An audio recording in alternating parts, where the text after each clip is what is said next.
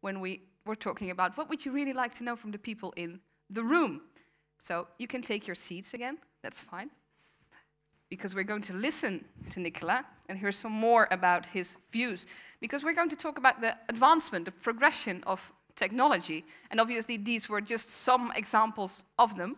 And I'm curious to hear if he noticed anything maybe in the different sides of the room and hear what he has to think about that. Now, he's not afraid of some strong opinions and maybe confront you even with your own skepticism or your own research work, so be ready for that. And afterwards, I would love to hear from you if there are things you agree with, what he is going to tell us, or if you totally disagree with. So if there's anything, write them down, and I will get back to that later. But now first, can I have an applause for, of course, the chair of our conference as well, Mr. Nikola Serbedzija. Thank you. And thank you for good pronunciation of my name. It's really, really. okay, so I guess we got a, a very good warm up, and I'm awakened as well. I was worried when I came here. It's too early to, to, to talk, and then you really did a great job to wake us so.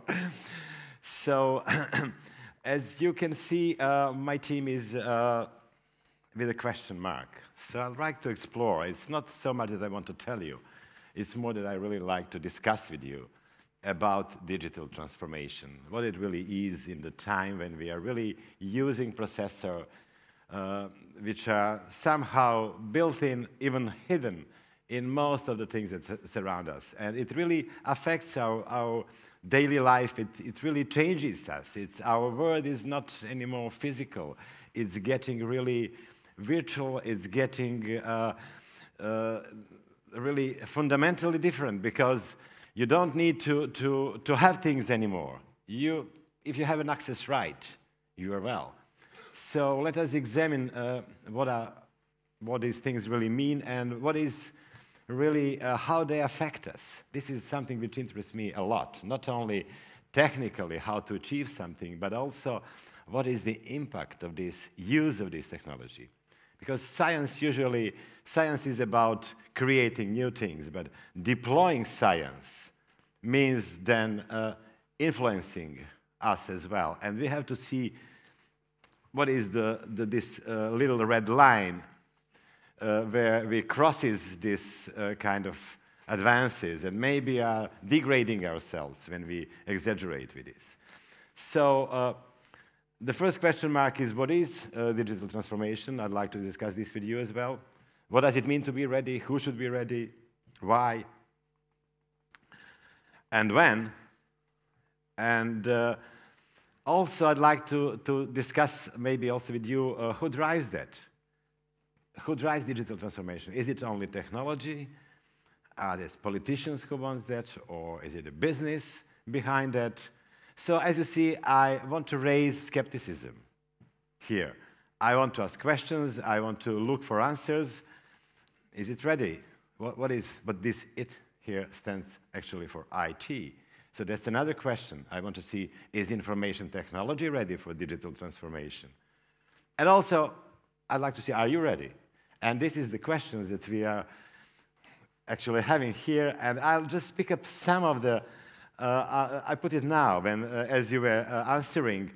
So I guess you were lying here. Really, I don't trust you. I think you spend more time online than you really said because sometimes we are not even aware that we are online. When we are using our smartphones, where we think we do something else, we are giving up our dates, our, our data to, to, to Google or Amazon or or whoever. So uh, just think twice when you think when you're doing something to consider really are you online and are you really uh, doing something. And I have a friend, he's really a technology freak. When I asked him this question, he said, I'm online when I sleep.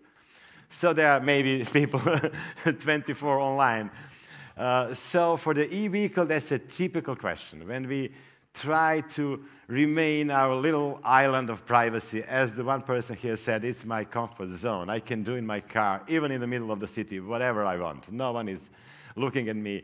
And this is one thing, and then your freedom of movement. So, but in another way, uh, e-vehicle service is really a very good service, very social one. So this is to be considered.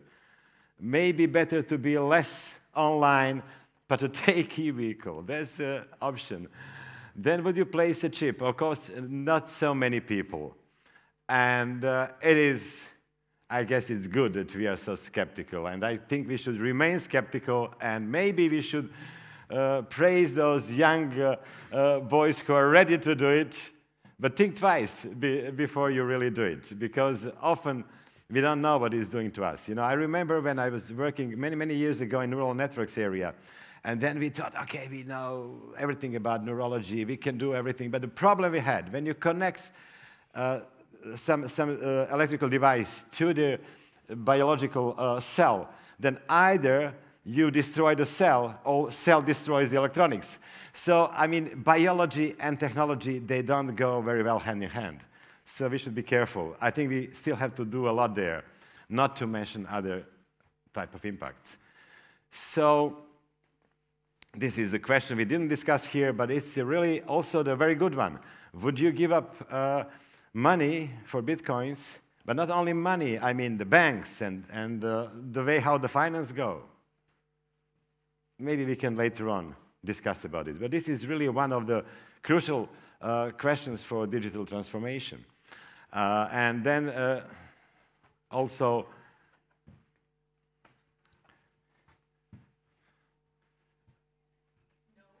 no? Very good. I know that in Holland, I mean, bike is uh, really uh, something special. But, but uh, uh, again, younger people, if you have under the skin also access to online games, would you like to have it? Okay, this is tricky. Anyway, what I want to talk today is about, at one side, about enabling technology, and uh, on another, I want to uh, bring some uh, dilemmas that this technology is bringing uh, to, to, uh, to us, to society as well, because this technology is really, it's not, uh, it is called disruptive, because it really disrupts the usual way of how things happen. So we have to, to look at this, and we have to also to look to the digital agenda. What is behind it? How we achieve this? And as you see, uh, I put it there. Actually, most of the things, if I want to summarize it with one or two words, is to get kind of services for everything. So uh, being digital uh, nowadays means you have a service to do something. So uh, uh the domains of digital transformation are really all aspects of our life. You go from the business, then you have a corporate dilemma. Do you want to do it di digitally or in an analog way? And you get a business as a service, and I'll discuss it a little bit later also. On. Uh, then in the financial strategy, you want to see, uh, would you be progressive or conservative? Do you like to have uh, money or you can do it with Bitcoin? So you maybe you will have a money as a service soon. Uh, or in the politics, you can even have a, a kind of mandate as a service. Well, maybe we can discuss Trump as well. He's here. Is he coming to this hotel? No. Is Trump coming to this hotel? Um, okay, so we can discuss about mandate as a service. Uh, then in industry, you actually you don't have a dilemma now. Everything is industry 4.0 is, is the way to go. Then in mass media, uh, uh, you'll see that uh, still uh, there is a difference between cyber and physical things. But I don't know, maybe soon we won't make a difference because technology is really going very fast. In decision making, I mean, also in philosophy, you know, is it an in silico or in vivo which matters, really? Do you trust more to technology or you trust maybe more to the uh, biology? And from the social point of view, I mean, there are huge changes nowadays, and maybe this is the most obvious one when we have this uh, mixed feelings about uh, click and emoji and communication. So you get a, a, friends as a service, or would you trade your best friend for million of clicks? Uh, of clicks? I mean, those are the things that we can uh, really consider. So uh, when we think about digital transformation, what, what you see is really, it's coming. It's really almost like a natural force. You know, when people talk about it, no one is asking whether it will come. I mean, that's something that we, we can't do anything about this. So it's coming, it is the work, when we sleep, when we do, uh, when we exercise, it is everywhere. So, uh, and it's even coming under our skin. So we have to be aware that it is more or less here, whether we like it or not. It has this disruptive character, and maybe we should be uh, worried because does it only disrupt the business or does it disrupt society? Is it disrupting us, disrupting us as well? So we have really to think uh, twice when we when we talk about uh, this. And so do we have to adapt to it? I mean, we are very adaptable species, and this is one of the major problems with uh, technology and society and uh, individuals, because we are more adaptive than technology. So maybe we uh, see that we are adapting more and more to the technology, which should be adapted to us. I mean, things are not really uh, maybe going as we would like. So I just want to uh, tackle a lot of uh, areas which are really crucially important for society. Business, finance, government, industry, healthcare, well-being, arts and humanities, and media and entertainment. Those are the I selected major areas of human activities and just to consider what is the uh, effect that uh, digital transformation have on this. And it's really, it's crucial. It's changing almost everything. Uh, now, that means that when you deploy uh, digital technology in business, then uh, you are affecting how the business is made, how you make your business plans, and uh, how revenues are created. So it really affects most of the, the elements of the business. In a finance, uh, also, I mean, how you invest money, how you use money, how you trade. Uh, do we need the banks? I mean, we can uh, do most of the things with uh, technology without really our usual institutions.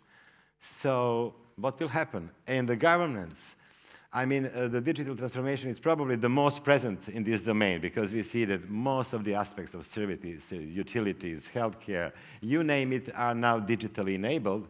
And there are a lot of good things there, I would say. They really prevent us from waiting in queues, or we can do things faster or from home.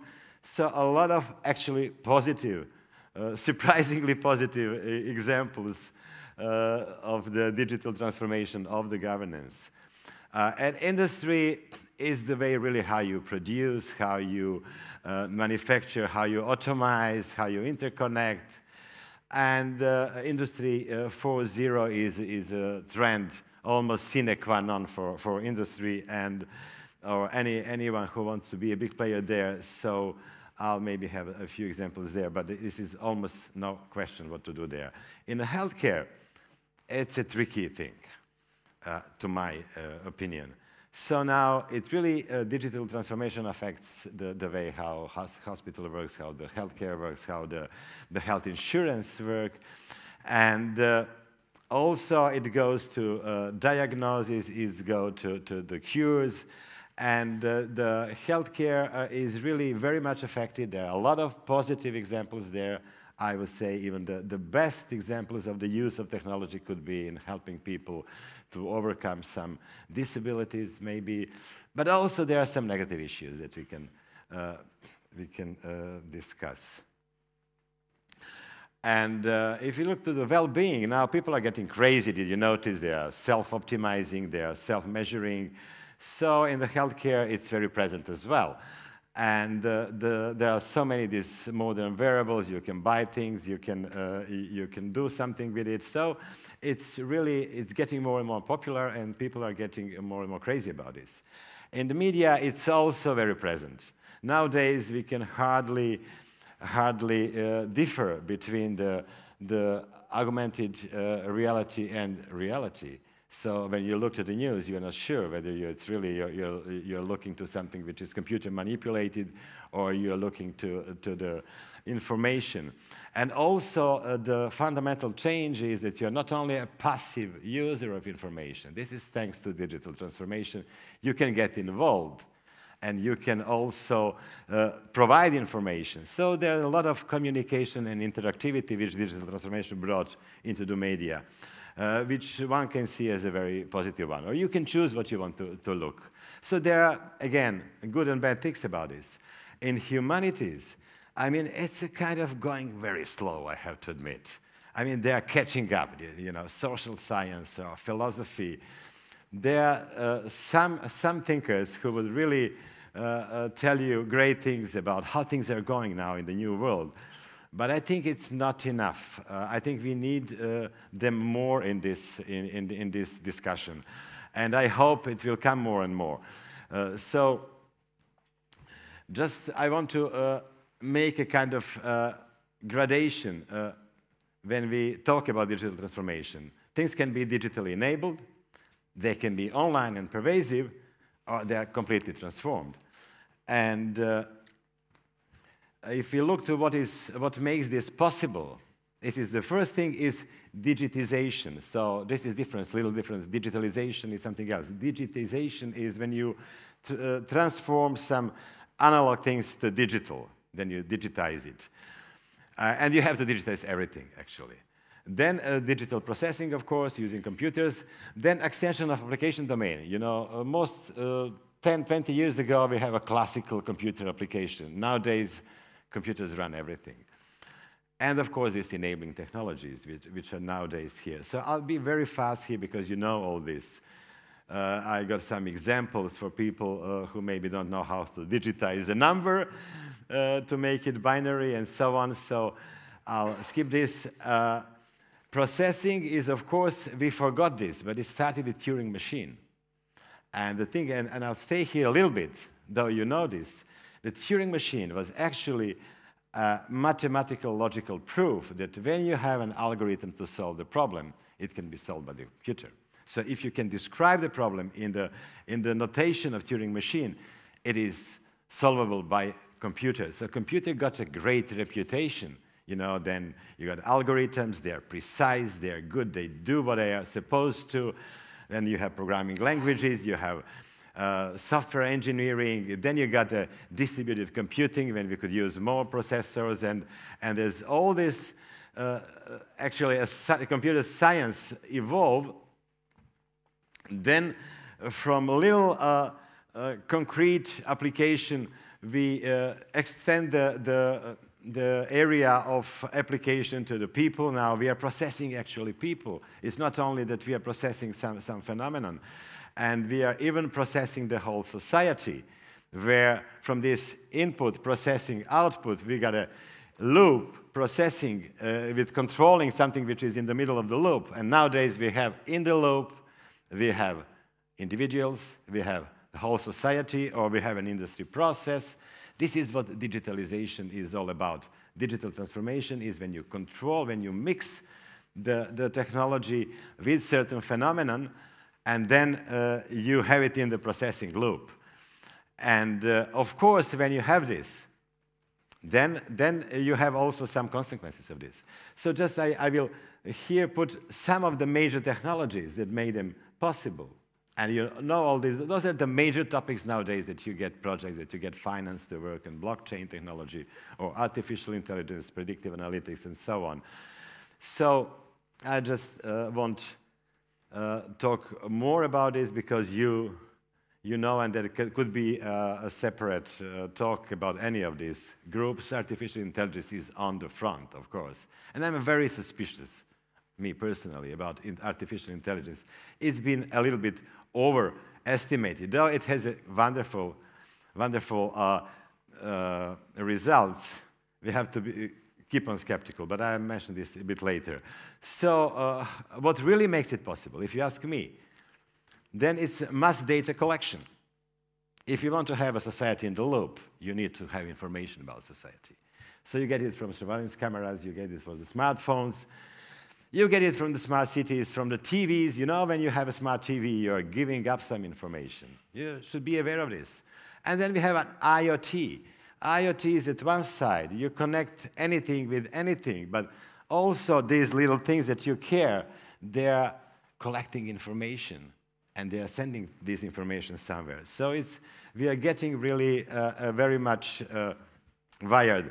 So again, uh, when we want to think uh, who should be ready, why, when, and after all, is technology ready? Uh, well, I guess everyone has to be ready from uh, directors, bankers, politicians to us. And why? Because it's coming, because it is not a natural force.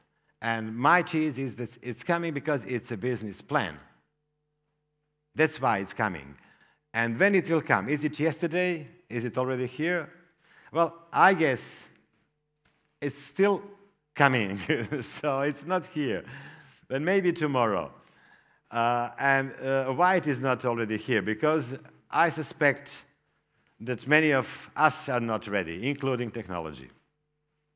So if you look to the, let's say, Horizon 2020 program, they are actually, uh, for the next year, they ask you to submit projects when you will also include a little bit of social impacts and public uh, uh, issues. But basically, uh, what, what, they, uh, what they're asking for is blockchain technology, data analytics, and this is for the next year. So it seems that we still have to do research in these areas. So don't worry. I mean, uh, there's still still to be uh, things to be worked out. So when, when we think about digital uh, transformation, we can, and it's usually like that, you know. Uh, you, someone asks you for an opinion, you say, okay, should I be positive or negative? Yeah, let's be positive first.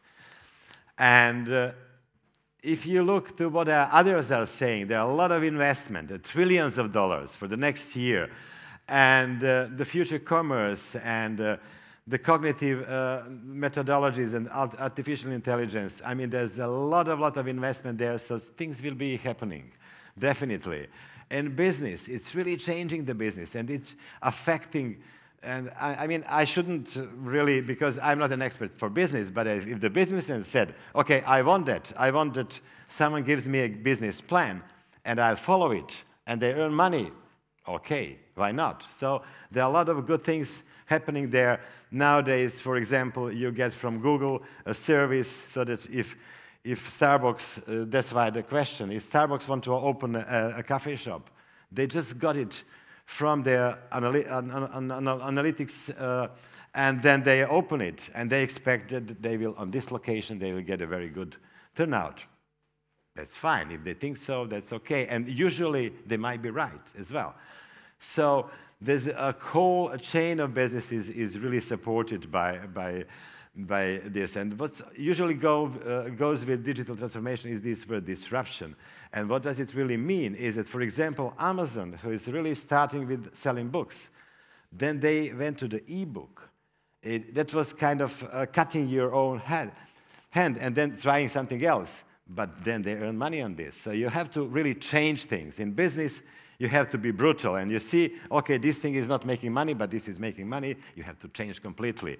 And technology somehow helps you in this. And Google Venture is another uh, where they're using analytics to, to, to somehow uh, support investments and so on. So those are some examples you can find more. Not sure. Okay. In finance, I mean, there's now a big deal with blockchain, and it's really very interesting to see what is going on there. Because in finance, if you apply digital technology, you may even question the very existence of the banks. Who needs banks? If we can do everything uh, uh with, uh, with, with Bitcoin, so we can somehow lend money, use money, spend money, we don't need banks at all. I mean, that's a tricky thing, you know. Are, are banks ready for digital transformation in that respect? I doubt. But I mean, we could do this. Again, it could be a, a separate talk, and I won't talk about blockchain and, and, finance, but it's a very interesting things. In governments, as I said, I mean, we all know there's a lot of good examples of, of, of good applications. In industry, uh, I mean, it's really a consensus. Uh, we had three, this big revolution in, in industry now is coming the fourth one, when we don't have only automatization, but we have interconnections and we have IoT. And, and then uh, they expect that the manufacturing and production will be somehow completely uh, faster and better and more efficient. So let's look and see, probably. This is a, a, a good example of it. In the healthcare, it's amazing. I mean, there's really, when you see how the technology is helping disabled people, I would say this is the best what technology can do now, nowadays. It's really can help a lot. And I think uh, most of these examples uh, when you see the hospital nowadays, you don't know whether you are in some technical laboratory or are you in the hospital. So what the technology is, is doing for the hospitals and for the medicine and for the healthcare is really amazing. And I think we should all be proud to be in, in somehow in, in developing of this technology when we look to this uh, application domain. And the well-being now, actually, we, we there is a trend to somehow support this smart living when we can optimize our use of energy and we can also self-optimize. And there's a lot of also good examples there. We should be aware of, of, of this. Uh, in the media and entertainment, this kind of uh, personalization and contextualization of the media is also a very positive thing. Now we can get involved, we can uh, hear what we are interested in. So there's a lot of good things there as well. Uh, but also now the guys coming here, uh, what, what is a little bit tricky is that the technology is so good that you can have a person saying something and then you can project this into the face of your choice. And then you can somehow make a false statements easily. Or you can abuse there was a but again uh, uh, there was an on a, on the music uh, business, there were some other abuses. So you see, there are also good things, but there are also kind of uh, negative things. So, so we have to be uh, also careful and let's see what is negative in this, uh, what is possibly negative. Uh, so, first thing that is the first victim of, of digital transformation in society is the privacy privacy law. So nowadays, nowadays we see even that the European Union um, brought this law, and now we all have to click somewhere to accept something and to say that we did something. So it's a typical thing when you see how the politics are solving the problems. Now you have to accept what is going on. Before that, they were doing this anyway. No, nothing changed, actually. It's only that they tell you they're doing this. But you, you, you have to, to click to continue, and no one is reading this again. So I would say it's not a big deal, but, but at least something is happening. Uh, but there is another thing which I want to pay your attention, really, is about there are a lot of digital uh, cognitive biases that we have. And I think that, that th this is one of the very, very negative things which is going on nowadays in society. And we have all, uh, or many people have uh, completely wrong opinions or, or about computers. So when we look to the digital processing, it's speed, it has unlimited memory, it really goes with algorithmic processing. So it was for years, and we know computers are reliable and intelligent. As a result of this, many, many tens of decades of years of, of good use of computers. Now we got sensors processing, we got artificial intelligence, we got predictive analytics, and we can even, uh, we hear more and more often on the television, computers can solve unknown problems. I really heard it on the television a lot of times. Computers can solve unknown problems. There are problems we are not aware of, but they will solve it. I mean, it's really that I start thinking, what is going on? First of all, when we talk about algorithmic processing, computers are not intelligent. They are reliable in this part of, of, of the processing, but they are not intelligent. They are stupid machines, repeating the same procedure again and again.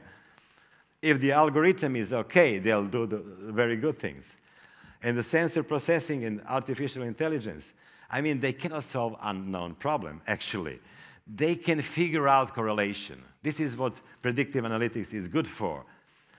But causalities are somehow remain hidden. So what predictive analytics, big data, artificial intelligence, what they can do, they can really figure out some, some, some relations, but no one knows really what is the solution. And this is tricky thing because computers, we thought computers are exact. But the neural networks, data mining, predict predictive analytics, I mean, they are not exact. We should be aware of this.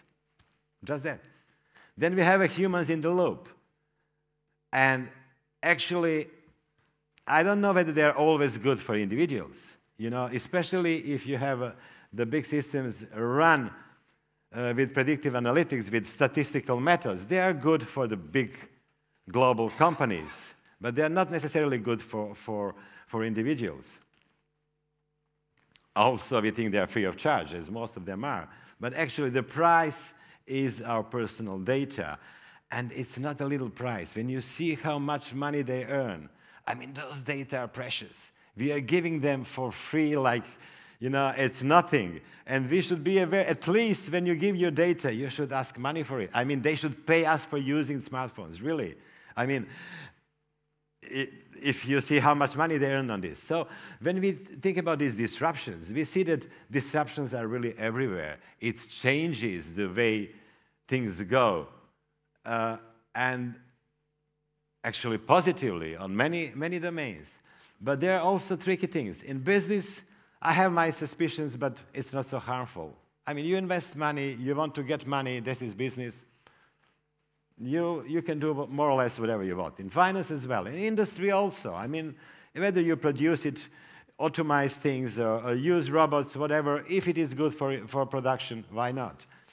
But when we come to governments, to the healthcare, for the well-being, I mean, those are the tricky issues. Those are the persons involved. And we have to be careful.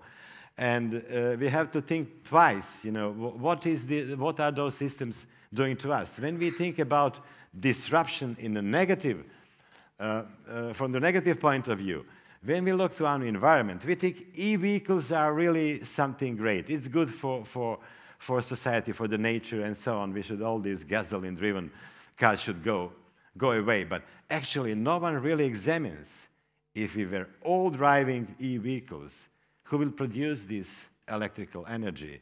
Is it then also good for us? Is it good enough? Are we saving energy or are, do we having green energy or we have to? I mean, there should be more analysis to this. And you see the famous Tesla car was sent into orbit uh, last year, was it this year or last year, just as a commercial for e-vehicles. I mean, you, remember, you see the guy who is making the e-vehicle, something we should be somehow ecological, should be good for, for environment.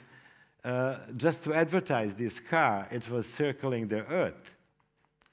And imagine what is the damage to the environment made to somehow put this car there.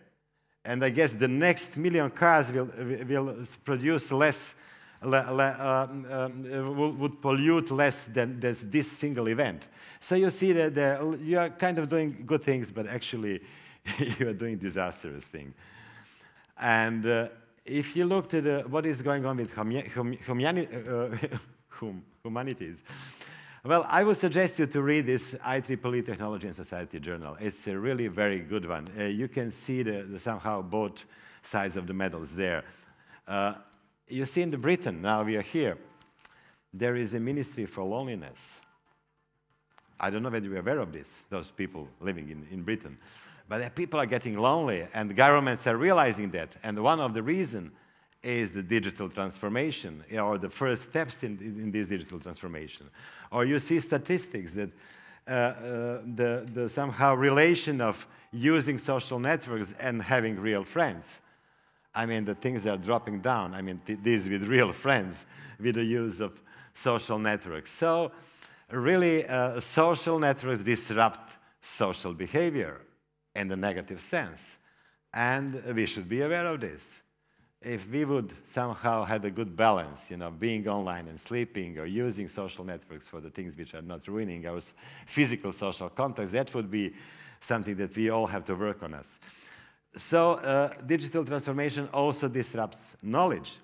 You know, there's this infoxication uh, uh, term, which means that, you know, uh, when you are online so much, you're actually ruining your intellectual curiosity. You can find out everything on the Google. Why, sh why, should you learn anything? You just go to the Google and see what is going on. I mean, the thing is that try to find explanation for some difficult process on the Google or on Wikipedia, and you see you won't understand it. I mean, difficult things cannot be explained on the, on the, on the Wikipedia. That's why we still have uh, academic uh, uh, work and we, we have students and professors to teach them difficult things because you can't find them easily on the internet. Otherwise, you, you can say we, we, we, won't, we, we don't need them. So anyway, there's a lot of these info negative issues like there is an info paradox, which means that the more information you get, the less you know. And this is really something which is, uh, looks paradoxical, but it, it is so. If you have a person who is only looking to the internet, being online all the time, can find any information. I mean, the person doesn't know a thing. You can find any information, but the knowledge is, is, is somehow uh, missing. Infoganda is another thing which happens very often. You know, it's information and propaganda together. So, or infotainment. You know, you get news often as a kind of entertainment. So you get some information uh, somehow leaked through the entertainment. So we got a lot of manipulation with the, with the public opinion, with individual opinion, and so on. And the infosphere is actually, we are getting to the, by the way, those are the, the last two terms are from the uh, philosopher uh, Luciano Floridi, who somehow tried to describe the, the, the changes uh, and saying that, like, we need biosphere as a biological species, we also need an infosphere as a digital transformed species. And then we are getting information organisms more than biological organisms. So uh, we have to deal with all these new issues and see uh, what what are we going with this technology? How can we uh, use it in a, in a positive way? So now you see that uh, also uh, digital transformation disrupts uh, creative thinking if you rely so much on predictive analytics. And uh, now you said most of you would uh, say that I know better where to place coffee shop than, than Google. And I would say, yes, of course, you know better. But if you have a global player who will put at your village or at your neighborhood, uh, put a coffee shop to ruin all your local coffee shops. Then probably Google will tell them what to do, where to do, because you won't tell them. So, I mean, there's a, there, there, there are tricky things there, but predictive analytics is good for, for marketing, for problem solving, for decision making. But imagine when you, when you are diagnosing in, in a medicine, you know, you can't use statistical method, methods to diagnose for the individual case. Because with predictive analytics, with statistics, you, you, for the government or for the health care, you have a very useful information when you apply all these statistical methods. But on the individual level, I mean, even the 10% mistake is a huge mistake. So also, uh, it disrupts our autonomy as well as we are getting, as the things getting autonomous, we are getting less autonomous. So just to conclude, uh, there are a lot of uh, negative issues now which I mentioned, and uh, I want to some, somehow mention some uh, positive ones. Digital enabled technology, ICT, that's us, that's we. I mean, we, we, we, our work is not endangered. We are asked for to do things. So we shouldn't worry for our jobs. There is a lot of work for us in the future. We should be happy. Uh, what is needed really is that, and all, all, all, very often the, the, we forget that we should work across disciplines. We should consult also the social sciences, uh, even philosophers, when we are mixing, when we are placing the man in the processing loop, we have to include the others to, to somehow consider what we are doing. So, if you want to think how to overcome negative Im impacts, I can give you a shortcut for this. I mean, really a shortcut. Try to think about living without electricity. Can we do something? So, you should, do you have a plan D? D as a plan for digital transformation. If you don't have, you should have one because we are confronted with this. Thank you. Thank you very much, Dr. Serbedzija. I will try and pronounce it once more correctly. Thank, Thank, you. you.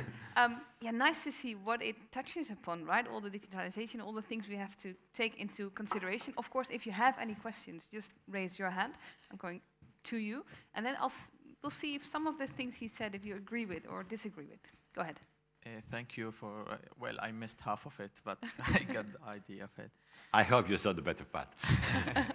so I just got two quick questions. So regarding to electric cars, of course, it's a great thing, but you know, mainly we generate electricity anyway uh, using